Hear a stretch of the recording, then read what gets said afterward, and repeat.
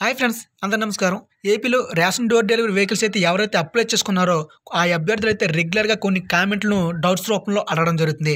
ఆ డౌట్లు ఏంటంటే మనము వెహికల్ అప్లై చేసుకున్నాం కదా ఆ వెహికల్ అప్లై చేసుకున్న వారికి మనకు ఎలిజిబుల్ లిస్ట్లో ఎప్పుడు విడుదల చేస్తున్నారు ఏ విధంగా చెక్ చేసుకోవాలి? దాంతోపాటుగా ఈ వెహికల్తో పాటు ఏమైనా వస్తువులు ఇస్తున్నారా అనేది అయితే మనకు కామెంట్ రెగ్యులర్గా అడుగుతున్నారు. సో ఈ వీడియోలో మీకు ఏ ఏ వస్తువులు వస్తాయనేది కూడా మీకు తెలియజేస్తాను.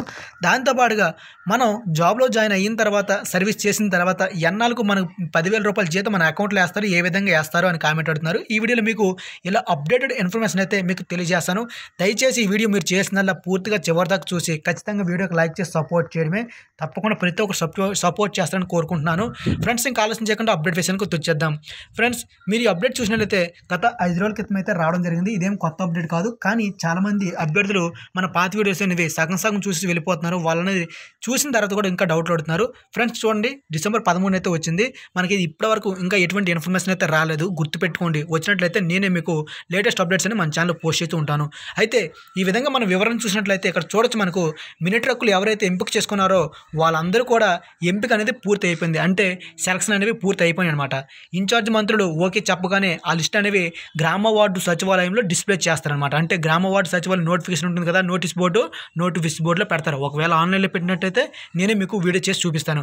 అలాగే ఎంపికైన వారికి రెండు దపాలుగా శిక్షణ ఇస్తారన్నమాట. ఈ వా- వెహికల్ ఎవరైతే ఉన్నారో వాళ్ళ పేరు ఉన్నట్లయితే వాళ్ళకి రెండు దపాలుగా శిక్షణ ఇస్తారు సో ఇది ట్రైనింగ్ అనమాట అయితే ట్రైనింగ్ రాగానే మనకు చేయాల్సిన పని ఏంటంటే ముందుగా ఎలిజిబుల్ లిస్ట్ అనేది పెట్టాలి. ఎలిజిబుల్ లిస్ట్ పేరు వచ్చిందంటే ఖచ్చితంగా మీకు అనేది మీకు నియామక పత్రాలు అందజేస్తారు అనమాట నియామక పత్రాలు వచ్చాయంటే మీకు రిజిస్ట్రేషన్ అయిన వాహనం ఫిక్స్ అయిపోయినట్టే. ఇలా నియామక పత్రాలు ఎప్పుడైతే ఇచ్చారో మీ నియామక సొంత నియామక పత్రాలు సొంతం చేసుకున్న అభ్యర్థులందరూ కూడా ఒకరోజు సెక్షన్ పెట్టేసి వాళ్ళందరూ టెన్ పర్సెంటేజ్ కమిషన్ ఏదైతే ఉందో మీరు అంటే యాభై ఎనిమిది వేల రూపాయలు చెల్లించాలి కదా మీరు ఆ యాభై ఎనిమిది వేలు అనేది మీరు ఖచ్చితంగా మీరు అనేది చెల్లించడానికి ఒక డేట్ అనేది అనౌన్స్ చేస్తారు. ఆ రోజు మాత్రం మీరు యాభై ఎనిమిది వేల రూపాయలు అనేది చెల్లించాల్సి ఉంటుంది.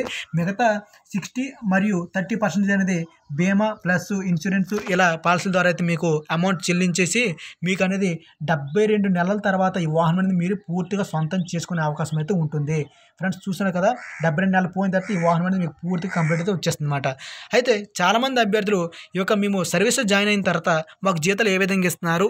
ఎలా కంప్లీటెడ్ ఏదైనా ప్రక్రియ ఉందంటున్నారు సో మీరు నియామక పత్రాలు అందజేసిన తర్వాత యాభై ఎనిమిది వేలు మీరు కట్టేసిన తర్వాత ఫైనల్గా మీ యొక్క ఆధార్ కార్డు రేషన్ కార్డు అలాగే మీ యొక్క బ్యాంక్ బుక్కు ఇలా ఏమైనా ఇటువంటి డాక్యుమెంట్స్ అనేవి తీసుకుంటారు. ఇవన్నీ తీసుకున్న తర్వాత మీకు కూడా ట్రెజరీ నుంచి జీతాలు వస్తాయి కాబట్టి మీకు కూడా సిఎఫ్ఎంఎస్ ఐడి నుంచి మీకు ఖచ్చితంగా జీతాలు అనేవి క్రెడిట్ అవుతాయి. సిఎంఎస్ సిఎఫ్ఎంఎస్ ఐడి ఉంటేనే మీకు జీతాలు అనేవి వస్తాయి. ఈ విధంగా మీకు ఐడి క్రియేట్ చేస్తారు. మీరు ఎటువంటి టెన్షన్ పడాల్సిన అవసరం కూడా లేదు. సిఎఫ్ఎంఎస్ వన్స్ అగైన్ మీకు క్రియేట్ అయిపోయిందంటే మీకు జీతాలు అనేవి ఖచ్చితంగా ప్రతి నెల పదివేల రూపాయలని జీతం పడుతుంది. ఒకవేళ మనకు జనవరి ఒకటి నుంచి ఈ యొక్క రేషన్ డెలివరీలు సరుకులు మీరు చేసినట్లయితే ఫిబ్రవరి ఒకటో తారీఖున జీతాలు పడతాయి. ఒకవేళ జనవరి మధ్యలో అంటే పదిహేను నుంచి స్టార్ట్ చేశారు అనుకోండి ఫిబ్రవరి పదిహేను లేదా మనకు అతను మార్చి ఒకటో తారీఖున జీతాలు అనేవి పడే అవకాశాలు అయితే ఉంటుంది. ఫ్రెండ్స్ చూసారా? మీకు మినిమం జీతం పడాలంటే ఒక నెల సర్వీస్ అనేది ఉండాలి. సర్వీస్ అయిన తర్వాత మీకు పదివేల రూపాయలు అనేది జీతం క్రెడిట్ అవుతుంది. ఇదైతే ప్రతి ఒక్కరికి గుర్తుపెట్టుకోవాలి. ఫ్రెండ్స్ చూస్తారు కదా?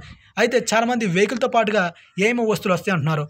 ఏమేమి వస్తువులు వస్తాయి అంటే రెగ్యులర్గా వచ్చే వస్తువులు అండి. ఏముండదు? సైడ్ వాళ్ళు కుర్చీ ఒకటి ఉంటుంది. తో అంటే కాటా వేసుకున్న టా కాటా ఉంటుంది. అలాగే త్రీ డీ లైట్ ఒకటి ఉంటుంది. ఇంకా బాటంలో వచ్చేసరికి మీకు మైక్ ఒకటి ఇస్తారు. ఇలా ఈ యొక్క వస్తువులు అనేది మీకు ఇవ్వడం జరుగుతుంది. ఈ రెగ్యులర్గా వచ్చే వస్తువులే. సో ఇది ఫ్రెండ్స్ ఈ వీడియో. ఈ వీడియోలో మీకు ఇన్ఫర్మేషన్ అర్థమైంది అనుకుంటున్నాను మీకు శిక్షణ అనేది దాదాపుగా జగన్ గారు అయితే ఆదేశాలు ఇవ్వడం జరిగింది. రెండు దఫాలుగా శిక్షణ ఇస్తారు.